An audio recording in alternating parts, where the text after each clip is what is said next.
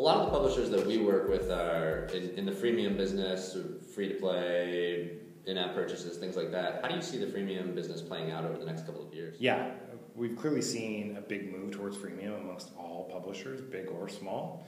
Um, and I, I, think the interesting thing is going to be how, how it all shakes out and whether or not people can actually generate the revenue required to, to support a business um, using freemium as a standalone model. Um, we, we've seen and, and we talk to smaller app developers all the time who were generating nice income with mobile advertising decided they didn't want to do that anymore and, and just moved to an in-app purchase model. Um, but they haven't been able to acquire enough users and get their monetization metrics correct so that they've, they've made enough money. Um, so, so I think we're going to see kind of this trend towards maybe three buckets of developer publishers. Um, the first bucket is going to include the big guys, right? Z2 Live, Zynga, EA, etc., um, who have very little advertising. Maybe they do some offer wall stuff. Um, and then there's going to be the medium sized guys who um, still are focused on freemium as a model, but also incorporate more mobile advertising. Um, and, and, where I think, think this gets interesting is when we start um, doing a better job as an industry of uh, some predictive analytics and understanding when someone's actually going to pay you, when someone's not going to pay you, um, and if they're not, incorporate advertising at that point, right? So um, there's no technical hurdles to this at this point. Um, it's just a matter of, I think, probably some, some market education and getting the, the word out there that, hey, you, you can go do this. Are there any ways for developers to sort of do that predictive analysis today? Um, yeah, there are some companies that provide that. Um, most of them are focused on the higher end market, so they cost a lot of money. Um, but but that'll that'll come down, right? Um, I know there's a company in your TechStars class that's sort of getting into that um, model. Um, so so there are definitely avenues for, for people to do it. Um, but kind of to, to, to wrap up and wrap up the question, I think it's going to be really hard for the market as a whole to support freemium. Um, I think there'll be some really big guys that can afford it and acquire users and make a ton of money. Um, and then there'll be everybody else, right, who has to fight for scraps. Um, I don't know. What do you think? Yeah, I think that's really interesting. I, think I think in-app purchasing is is sort of one of the best things that, that mobile has done right, uh, especially Apple with the ease of payments, things like that. They've built up an amazing sort of universe of credit cards and users.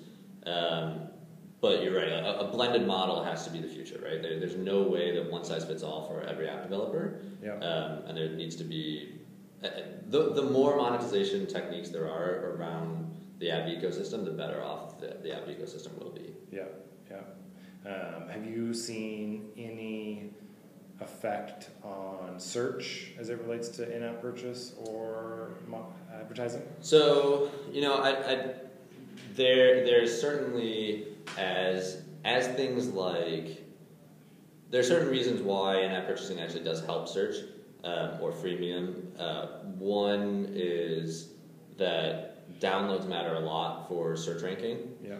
Um, free apps generate more downloads. Yeah. Um, so if you're if you're going free versus paid, then free will help you in, in search because you'll have the more the more downloads to rank more highly. Um, uh, in-app purchases, for better or worse, I, I tend to think this is worse, and I think it'll go away. Right now, uh, the title of all of your in-app purchases are actually used as keywords for app search. Um, really? Yeah, so it, it goes along with the app title, the description, keyword field, and, and, and your in-app purchase titles. Um, I think that goes away because it doesn't actually make a whole lot. Of, I can see where it comes from for for things like magazines or, Yeah. or you know, let, us pretend you have a magazine uh, um, app which you purchase each individual article. Yeah. Um, you might want to have the title of every article be searchable. Um, but I, I, I, tend to think that that goes away, it becomes less important, um, and you know the the model of free versus paid heads more towards free, where the apps are, are sustained by a blended model of, of ads and in-app purchases and things like that. Yeah. So, lastly, what's the what's the single best tip you have for mobile app developers around ad targeting, monetization, uh, all of all of that sort of stuff? Yep. So, I don't think I could give just one tip, especially if we're talking about monetization as a whole. Um, so, uh, at a high level, I would say that app developers, especially those that don't have their monetization metrics and tracking down really well, to try a bunch of different things um, and test to see what works best, not only for for them, but their content and their user base.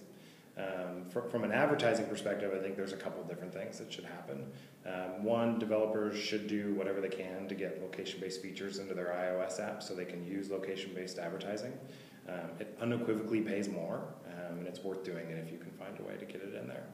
Um, the second thing, and the, these kind of become little tactical things that a lot of people just miss, um, is making sure you have a good mediation layer in there. Um, so that can be just as simple as AdMob mediation, um, or you can go step up a little bit and go to Mopub, or if you have a lot of traffic, you could use Burstly. Um, and another little tactical thing is use Singleton AdView, which a lot of developers either don't know about or, or, or don't use. Um, and Singleton AdView ensures that you show the same ad as users scroll through screens, um, as opposed to refreshing every screen, um, which artificially increases your impressions and artificially decreases your click through rate. So that's bad.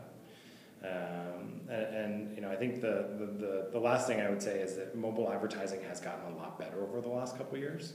Um, we, we were at one point, or I came from uh, an app publisher, and we kind of all had this bad experience with big promises and you know, crappy delivery from mobile advertising.